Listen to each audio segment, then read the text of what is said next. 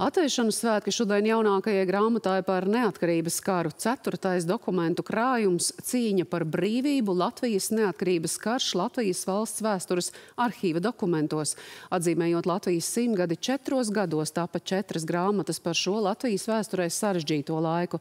Kā saka grāmatas autors, tas ir veltījums karavīriem un civilīdzīvotājiem, kur atdeva dzīvību par Latvijas brīvību. Stāsta Judīta Čunka.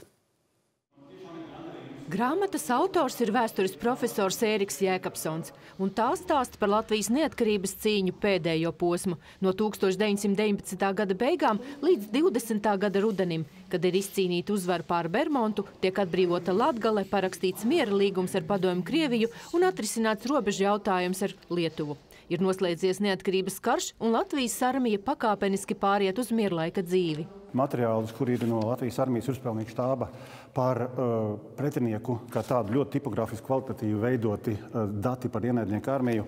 Tālāk karavīru zīmējumi no frontes, uh, kā tādi arī Būs interesanti cilvēkiem, kur interesējas par konkrētām vietām Latgalē un arī vidzemē. Būs interesanti cilvēkiem, kur interesējas par ārpolitisko vēsturi. Grāmatā apkopoti ap 200 dokumentu par militāru politiskiem procesiem, kara sekām un norisēm sabiedrībām. Visi šie notikumi gāja paralēli, vai ne?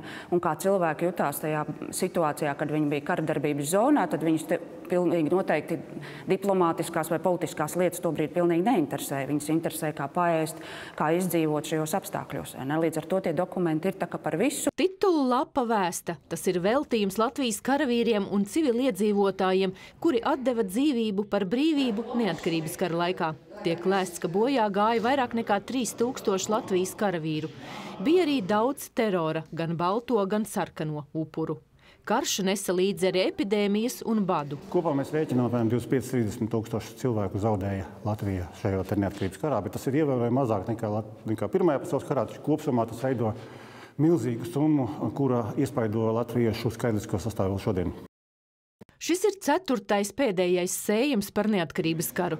Pirmo krājumu vēsturnieks sagatavoja 2019. gadā. Tas stāsta par situāciju pēc Latvijas nodibināšanas un Krievijas armijas iebrukuma.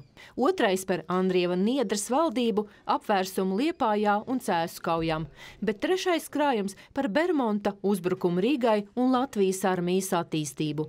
Judīte Čunka, Ainis Skupčs, Latvijas televīzija.